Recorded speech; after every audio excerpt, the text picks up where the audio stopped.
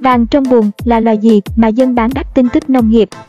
Xem giá tin tức nông nghiệp trên kênh giá vật tư nông nghiệp để biết thêm nhiều điều thú vị cũng như kinh nghiệm từ nông dân Việt Nam. Kênh giá vật tư nông nghiệp xin chào mừng bà con anh chị em nông dân Việt Nam đến với một tin tức nông nghiệp. Chúc bà con nông dân làm giàu bằng cách xây dựng một nền nông nghiệp xanh, bền vững với kiến thức sức khỏe cây trồng và tin tức nông nghiệp.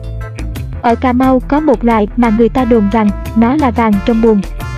Video này dành cho bà con là nông dân, các chú bác, nông dân miền Tây đang muốn học hỏi thêm những cách làm giàu mới từ mọi miền Tổ quốc. Hôm nay một tin tức nông nghiệp muốn mời bạn xem qua một loài được mệnh danh là vàng trong buồn. Đây là nguồn thu nhập chủ lực của bà con nông dân Cà Mau, kênh giá vật tư nông nghiệp. Xin mời bà con theo dõi để biết vàng trong buồn là gì. Đây là vàng, thứ vàng ở trong buồn của xứ này. Về xã Việt Thắng huyện Phú Tân, tỉnh Cà Mau, chúng tôi háo hức tìm gặp ông Nguyễn Mai Hằng. Hỏi ông vàng ở trong buồng là gì? Được ông trả lời, vàng ở trong buồng là con sò huyết.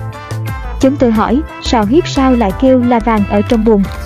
Ông già đem 20 năm máu thịt với con sò huyết trên đầm phá Phú Tân để kể cho chúng tôi nghe câu chuyện của đất, của người ở đây. Sò huyết lên đời Cà Mau trước đây không ai nuôi sò huyết, bởi cua tay là có, tự nhiên và tưởng chừng vô tận. Đất Phú Tân có gần 40 km bờ biển, 6 cửa sông lớn thông ra biển, con sò huyết đã có mặt ở đó từ bao đời. Ông Hằng kể, năm 2001 tôi bắt đầu gom giống về thả vuông nuôi, ai cũng cười, lúc đó, tôm trúng lắm, con sò chỉ để dành ăn. Dần già, tôm cua dở đi nhiều, con sò huyết ngày càng nhiều người ưa chuộng, giá cả lên đều. Cũng từ đó, con sò huyết trở thành nguồn thu nhập chủ lực của tôi với gần 5 hecta đất. Nhậm tính, ông già nói mỗi vụ lời bèo bèo cũng vài trăm triệu đồng. Như biết chúng tôi chưa tin lắm, ông Hằng, với vai chi hội trưởng chi hội nông dân ấp Má Tám, dẫn tôi ghé thăm gia đình lão nông khác cùng ấp, ông Huỳnh Hải Dân. Ngồi trên xuồng, hai ông già thò tay xuống mò sò huyết. Ban đầu, chúng tôi mắc cười, nhưng sau 5 phút, rổ sò huyết vung đầy, con đều tròn, chắc đuổi cỡ 50 con trên kg, thì há ngoác miệng mồm. Ông Dân tiết lộ, sò huyết Việt Thắng sắp thành sản phẩm OCOB chứ không phải dẫn đâu, có dự án hạng hoa đó. Nhưng niềm kỳ vọng của con sò huyết không chỉ là lợi ích kinh tế, theo ông Nhàn, bà con Phú Tân lâu nay vẫn nuôi tôm, qua là chính, nhưng gần đây hiệu quả nuôi tôm, qua giảm sút mạnh vì thời tiết bất lợi, dịch bệnh phức tạp. Con sò huyết với hiệu quả đã kiểm chứng trở thành lựa chọn không thể bỏ qua cho người dân Phú Tân trong tương lai.